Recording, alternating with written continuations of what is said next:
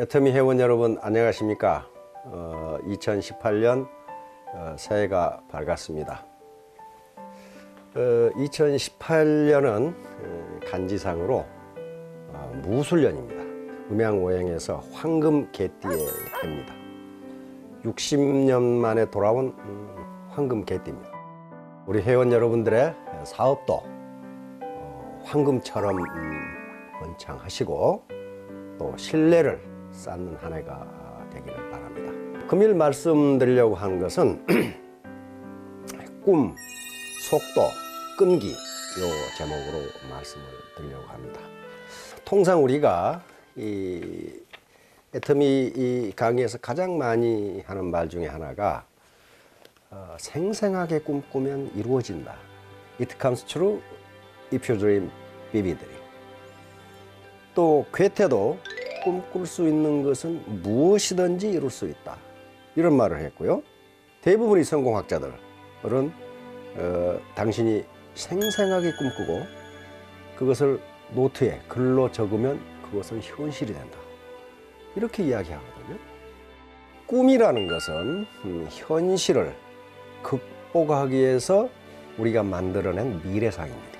몇 년 후에 나는 이렇게 될 것이다. 이렇게 되고 싶다 하는 게 꿈인데, 이 꿈과 현실 사이에는 반드시 갭이 존재합니다. 그래서 이 갭을 메꿔 나가는 과정이 바로 성공으로 가는 음, 여정입니다. 그런데 꿈을 꾼다는 것은 현실이 지금 마음에 들지 않는다는 거예요. 현실이 만족하지 않다는 거거든요. 그러면 꿈을 꾸고 꿈을 실현하기 위해서는 현실을 돌아보고 현실을 인정하고 그것을 받아들여야 돼요. 만약에 현실을 인정하지 않거나 현실을 돌아보지 않거나 또는 내 불만족스러운 현실을 나무 탓으로 돌린다면 음, 그것은 꿈을 실현할 수가 없어요. 예를 들면 이런 겁니다. 내심 진짜로 애터미 사업에 대한 비전을 보고 있는 것인가? 나는 지금 과연 생생하게 미래를 꿈꾸고 있는 것인가? 나는 애터미 시스템에 능동적으로 참여해서 학과 습을 하고 있는 것인가? 나는 내 독단을 부리지 않고 정말로 파트너들의 말을 경청하고 있는 것인가? 이런 것들입니다. 이런 것들을 한번 돌아보고 이제 생생하게 미래를 꿈꿔야 됩니다. 다시 말하면 내가 지금 등반을 하는데 내 베이스 캠프는 지금 200m에 있는데 5000m 고지를 지금 점령하겠다는 거예요. 그런데 베이스 캠프 200에서 5000m 간을 가려면은 반드시 행동이 수반돼야 됩니다. 가만히 앉아서 꿈꾼다고 해서 그게 5000m가 5000m에 올라가지는 게 아니라는 거예요. 반드시 행동이 있어야 성취가 있어요. 문제는 그 행동이 지속적이고 반복적인 행동이어야 된다. 그래서 반드시 머리 공부가 몸 공부로 이어져야 되는데 중간에 마음 공부가 개입되지 않으면 안 된다는 거예요. 그럼 마음 공부는 여기서 뭔가? 요 지루하고 따분하고 이 지겨운 일이 또 하기 싫은 일이 하고 싶고 즐겁고 어. 그런 일로 바뀌어져야 된다는 거예요. 그럼 뭐가 바뀐 거예요?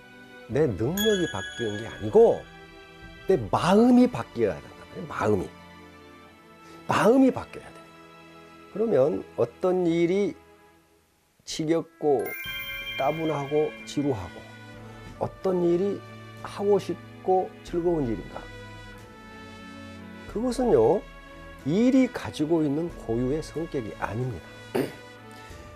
그 일을 어떻게 보느냐 하는 다시 말하면 개인이 가지고 있는 패러다임에 따라서 그 일의 성격이 정반대로 바뀐다. 그러니까 미래를 생생하게 꿈꾼다. 그런 말은 내가 5,000m 고지를 점령했을 때 그 쾌감, 그 호연지기를 지금 꿈꾸라는 거예요. 이걸 학자들은 미래 기억이라고 부릅니다. Future Memory. 미래 기억. 그런데 미래 기억이라는 말은 그 자체가 모순이에요. 우리가 기억이라고 하는 것은 과거에 있었던 일, 과거에 보았던 일, 과거에 경험했던 어떤 사건을 지금 생각하는 걸 기억이라고 해요. 그런데 미래라는 것은 아직 오지도 않았고 그런 일이 일어나지도 않았는데 어떻게 내가 기억을 하느냐는 거예요. 학자들은 묻습니다. 미래 기억이 가능한가? 답은 yes, 가능하다. 뇌과학이 발전하면서 우리 과거 기억과 미래 기억을 저장하는 뇌가 전두엽으로 똑같다는 게 밝혀졌어요. 다시 말하면 미래 기억도 기억이다. 미래 기억이라는 것은 내 마음으로 보고, 마음의 귀로 듣고, 마음의 혀로 맛, 맛보고, 마음의 피부로 느끼는 겁니다. 이게 생생하게 꿈꾸는, 꿈꾸는 거란 말이에요. 자, 그걸 비행기가 활주로를 박차고 올라가는 takeoff를 한번 생각해 봅시다. 어, 자료를 보면 보잉 747 같은 그런 여객기가 어, 이륙을 하려면은 음, 시속 300km 이상으로 달려야 된답니다. 활주로 시속 300km는 달려야 돼. 이 속도로 달려야 돼. 그리고 적어도 활주로 길이가 3km 이상이어야 돼. 그러니까 만약에 속도가 300km로 달려야 되는데 200km로 달린다. 이건 그렇게 하면 어떻게 돼? 지구를 한 바퀴 돌아도 이륙하지 못합니다. 둘 중에 어느 하나만 안 돼도 비행기는 이륙하지 못한다. 그런데 여기서 강조하는 것은 속력이 아니라 속도입니다. 속력이라는 게 있고 속도라는 게 있습니다. 속력은 물리량으로 스칼라 양이라고 그럽니다.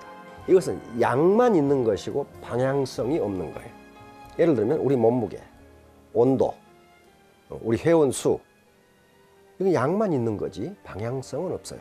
속도는 양과 방향성이 동시에 존재하는 거예요. 회사에서 시스템에 참여하라. 그 다음에 지방 시스템이라든가 그 센터에서 미팅을 자주 해라는 것은 옳은 방향, 다시 말하면 속도를 빨리 하라는 거지 속력을 빨리 하는 게 아니라 그 말이에요. 옳은 방향으로 해도 옳은 방향으로. 이제 결론적으로 말하면 이런 겁니다. 우리가 이 답답한 불만족스러운 현실을 극복하기 위해서는 꿈을 가져야 돼.